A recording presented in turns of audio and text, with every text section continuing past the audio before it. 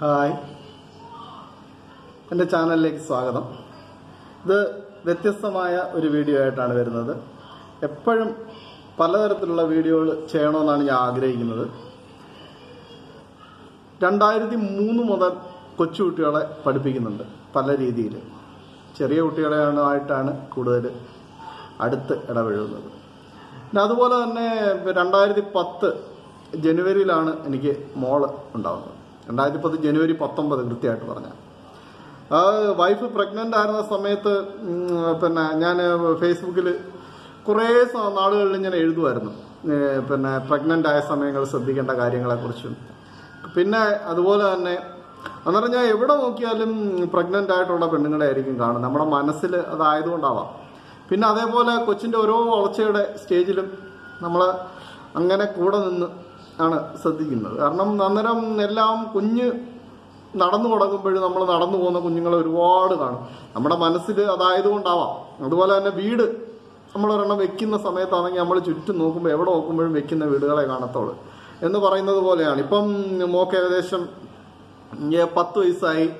നാലാം ക്ലാസ്സിൽ ആണ് പഠിക്കുന്നത്. ഇപ്പോൾ ഈ വീഡിയോ ചെയ്യുന്ന പലരും എന്റെ അടുത്ത് ചോദിക്കാറുണ്ട് കൊച്ചു കുട്ടികൾക്ക് വായിക്കാൻ വേണ്ടി വാങ്ങിച്ചു കൊടുക്കുന്ന പുസ്തകങ്ങളെ പറ്റിയൊക്കെ ചോദിക്കാറുണ്ട്. ഇതിനു മുമ്പ് പിന്നെ നമ്മൾ വായിച്ചു തുടങ്ങുന്നതിന് മുമ്പ് ചെയ്യേണ്ട കാര്യങ്ങളെ പറ്റി ഒരു വീഡിയോ ഇതിനു മുമ്പ് ചെയ്യുന്നുണ്ട്. ഇനി പുറകോട്ട് പോയി വീഡിയോ ചെയ്യുന്നുണ്ട്. ഇപ്പോൾ കറണ്ട് സ്റ്റേജിൽ നിന്നുള്ള എന്റെ കൊച്ചിന്റെ ഡെവലപ്മെന്റുമായിട്ട് ബന്ധപ്പെട്ട് ഞാൻ പറയുന്നത് കേട്ടോ. കറണ്ട് സ്റ്റേജിൽ നിന്നുള്ള ഒരു വീഡിയോ ആണ് ഇപ്പം ചെയ്യുന്നത്.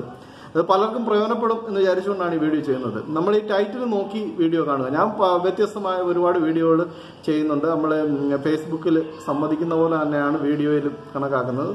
അത് പരസ്പരം ഇങ്ങനെ ഇന്ററാക്ട് ചെയ്യാനുള്ള ഒരു മീഡിയ എന്നുള്ള രീതിയിലാണ് വീഡിയോ ചെയ്യുന്നത്. അതിനൊരു ഒരു കാറ്റഗറി എന്നൊന്നും വിചാരിക്കുന്നില്ല. ഇത് പിന്നെ വായിച്ചു തുടങ്ങിയ പ്രത്യേകിച്ച് ഇംഗ്ലീഷ് ലാംഗ്വേജ് വായിച്ചു തുടങ്ങിയ കുട്ടികൾക്ക് പരിചയപ്പെടാത്താൻ പറ്റുന്ന പുസ്തകങ്ങൾ.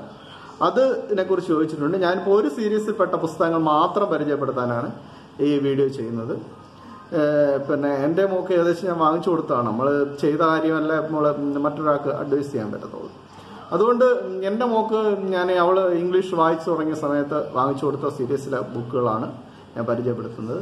വേറെ ഒന്നുമില്ല പുസ്തകത്തിന്റെ സ്റ്റോറി ഒന്നും പറയുന്നില്ല. പുസ്തകം ജസ്റ്റ് പരിചയപ്പെടുത്തുന്നു diary of a wimpy kid എന്ന് പറയുന്ന സീരീസിലുള്ള പതിനാല് പിന്നെ പുസ്തകങ്ങൾ diary of a wimpy kid ഈ സീരീസിലെ പതിനാല് പുസ്തകങ്ങളാണ് മോക്ക് വാങ്ങിക്കൊടുത്തത്.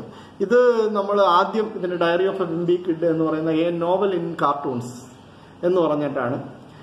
പിന്നെ ജെഫ് കിനി ജെഫ് കിനി എന്ന് പറയുന്ന ആളെ എഴുതിയ പുസ്തകമാണ്. ഇന്റർനാഷണൽ ആണ്.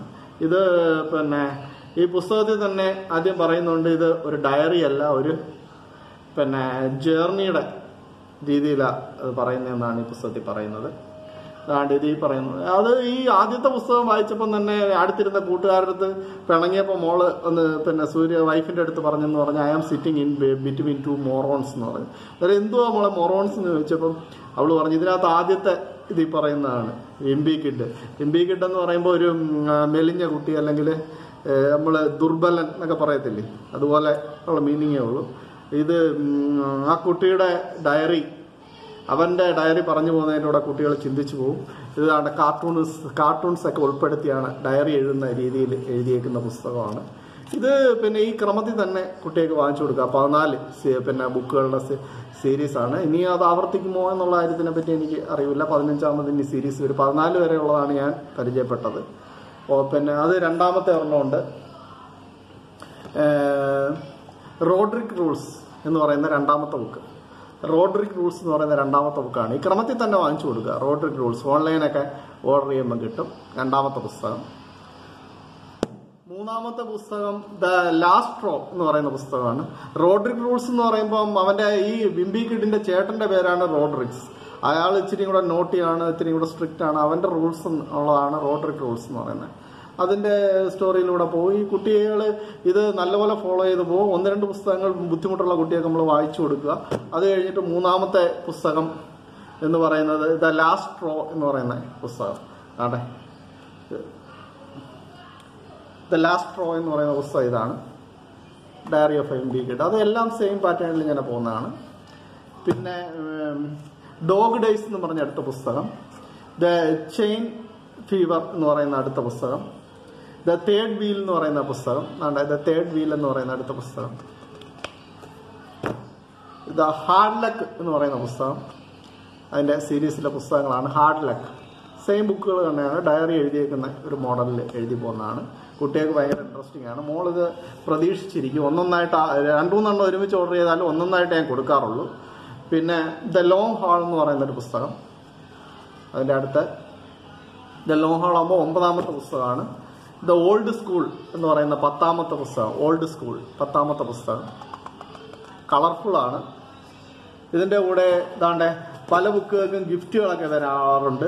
എക്സിക്യൂട്ടീവ് പിന്നെ എക്സ്ക്ലൂസീവ് സ്റ്റിക്കർ ഇൻസൈഡ് എന്ന് പറയുന്ന സ്റ്റിക്കർ ഇതിനകത്ത് കള കഥയുടെ ഭാഗമായിട്ട് ഉപയോഗിക്കാൻ പറ്റിയ സ്റ്റിക്കർ മോളിത് വെട്ടി ഒട്ടിച്ചതിന്റെ ബാക്കി സ്റ്റിക്കർ എനിക്ക് കാണിക്കാൻ പറ്റുന്നില്ല. അങ്ങനെ പ്രൊവൈഡ് ചെയ്യുന്നുണ്ട്. പിന്നെ ഇത് ഡബിൾ ഡോൺ പതി പതിനൊന്നാമത്തെ പുസ്തകമാണ് ഡബിൾ ഡോൺ എന്ന് പറഞ്ഞ പുസ്തകം. പിന്നീട് ദ ഗേറ്റ് വേ പന്ത്രണ്ടാമത്തെ പുസ്തകം. ദ ഗേറ്റ് വേ എന്ന് പറയുന്ന പന്ത്രണ്ടാമത്തെ പുസ്തകം. പതിമൂന്നാമത്തെ പുസ്തകം മെൽഡൗൺ എന്ന് പറയുന്ന പതിമൂന്നാമത്തെ പുസ്തകം. പതിനാലാമത്തെ പുസ്തകമാണ് റീസെന്റ് ആയിട്ട് പിന്നെ ഏറ്റവും ലാസ്റ്റിൽ അവൾക്ക് വാങ്ങിക്കൊടുത്തത്. റെക്ലിംഗ് ബോൾ എന്ന് പറയുന്നത് പതി പിന്നെ പതി നാലാമത്തെ പുസ്തകം പതിനാലാമത്തെ പുസ്തകം ഇതിനകത്തുണ്ട്. പിന്നെ അതിനിടയ്ക്ക് Bimbi do it your self എന്ന് പറഞ്ഞ ഒരു ആക്ടിവിറ്റി ബുക്ക് ബിംബി കിഡിന്റെ ഡു ഇറ്റ് യുവർ സെൽഫ് എന്ന് പറഞ്ഞ ആക്ടിവിറ്റി ബുക്ക്. അത് പിന്നെ നമ്മൾ സാധാരണ മോൾ അതിനകത്ത് ആക്ടിവിറ്റികളൊക്കെ ചെയ്തിട്ടുണ്ട്. ആക്ടിവിറ്റികൾ നമ്മൾ സഹായിക്കാതെ തന്നെ കുട്ടികൾ ചെയ്യും. ഇതിന്റെ നമ്മൾ കൂടിയിരിക്കേണ്ട കാര്യമേ ഇല്ല ഈ പുസ്തകം. കുട്ടികൾക്ക് വാങ്ങിച്ചു കൊടുക്കുക. ഇതുപോലുള്ള പുതിയ ഇതുപോലെയുള്ള ഓരോ സീരീസിലുള്ള പുസ്തകങ്ങൾ ഞാൻ പരിചയപ്പെടുത്താം. ഈ പുസ്തകങ്ങൾ ഓരോന്നായിട്ട് നിങ്ങൾ പിന്നെ ഈ പേരുകൾ ഞാൻ പറഞ്ഞ് ഓർത്ത് വയ്ക്കുക. അത് ഓരോന്നായിട്ട് ഓൺലൈൻ ഓർഡർ ചെയ്ത് വാങ്ങിക്കാം. നല്ല ബുക്ക് ഷോപ്പുകളിൽ കിട്ടാറുണ്ട്. ഇത് പുസ്തകങ്ങൾ കുട്ടികൾക്ക് വാങ്ങിച്ചു കൊടുക്കുക. പിന്നെ ഇത് കുട്ടികളെ എങ്ങനെ ഗ്രൂം ചെയ്ത് കൊണ്ടുവരാമെന്നുള്ളതിനെ പറ്റിയുള്ള പിന്നെ പ്രത്യേകിച്ച് ഇംഗ്ലീഷിന്റെ കാര്യത്തിൽ ഗ്രൂം ചെയ്തു കൊണ്ടുവരാന്നുള്ള പിന്നെ വീഡിയോസ് റെഗുലറായിട്ട് ഞാൻ ഇടുന്നുണ്ട്. എന്റെ ചാനൽ സബ്സ്ക്രൈബ് ചെയ്യുക. പ്രയോജനപ്പെടുന്ന ഒരുപാട് കാര്യങ്ങൾ ഞാൻ അതിനകത്ത് നിങ്ങൾക്ക് വേണ്ടി പറയും. പിന്നെ അതുകൊണ്ട് കണ്ടതിന് നന്ദി.